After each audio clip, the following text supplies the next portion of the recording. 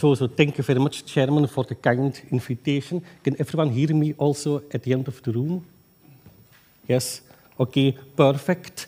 So I will uh, today give a talk about basic principles behind a time delay systems. So I start with some motivating examples, then move to some basic properties, and then I will make it a bit more technical and talk about control-induced uh, reduction methods. It's now unclear, but I hope to make it, to clarify it later on.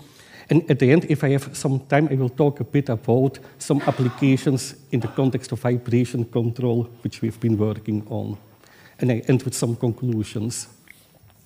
A bit the central theme is that uh, I don't want to be negative now, so I will try to talk about benefits of using delays. Many associate delays with bad behavior, instability, but I want to take a bit the, the other point of view.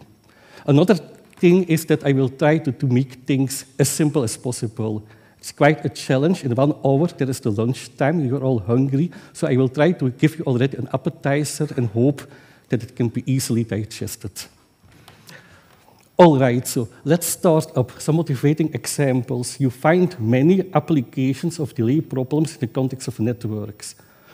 Just to, to, to make the setting a bit, bit clear, I will talk about continuous time problems and with the delay equation. Uh, I just mean, make, make it simple, an equation, a functional differential equation, where the right-hand side, it's a functional, it depends, for instance, on the current value of x, but also at x at instances in the past. And an example of networks, yeah, when you study interactions of neurons, so they are coupled uh, via a synaptic coupling. It's some kind of chemical information transmission. And it, it can be quite well modeled by time delays, delays in the differential equations. And that's here an example where you see uh, the spiking behaviors of neurons in a synchronous way.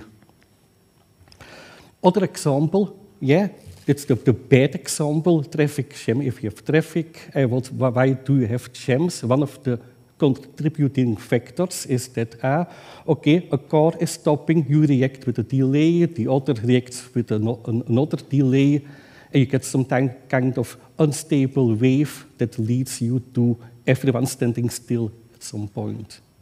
But of course, you can also take the opposite way, uh, so my, my, colleagues in Eindhoven have done a lot of interesting work on cooperative adaptive cruise control. Cooperative means that to make uh, the traffic control more efficient, that cars need to communicate. And also in, in uh, various standard models,